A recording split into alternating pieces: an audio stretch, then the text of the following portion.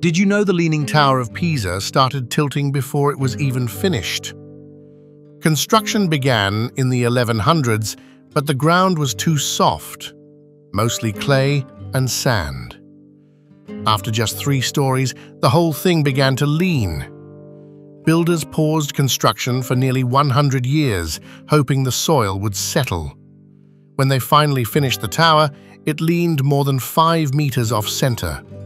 For centuries it kept tilting, and experts feared it would collapse. But in the 1990s, engineers stepped in. They removed soil on one side and added counterweights, and it worked. Today, the tower leans just over 4 meters and is finally stable, for now.